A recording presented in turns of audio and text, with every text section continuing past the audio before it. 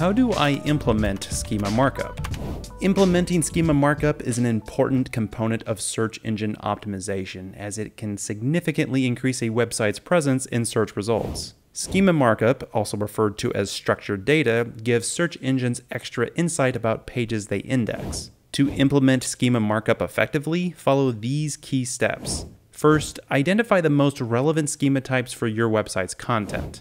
Schema.org provides an expansive library of schema types designed to mark up different forms of content, articles, products, events, and more. So select one that best matches what you wish to mark up.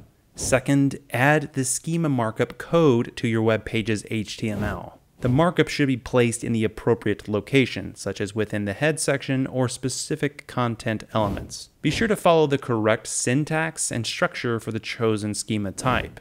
Additionally, use schema markups for important key elements on your web page, such as product names, prices, reviews, and event details. This additional data provides search engines with a better understanding of your content, increasing the likelihood of being featured in rich snippets or special search result features. Furthermore, validate the schema markup using Google's structured data testing tool or other validation tools. Ensuring the markup is error free and accurately represents your content is essential for optimal results. Moreover, keep the schema markup up to date and aligned with the content on your website. Regularly review and adjust the markup as needed to reflect any changes or additions to your content. In conclusion, implementing schema markup involves identifying relevant schema types, adding the markup code to your web page, using it for important elements, validating the markup, and maintaining it. If you follow these steps, you can increase your website's visibility in search results, increase SEO performance, and give search engines valuable context about the content.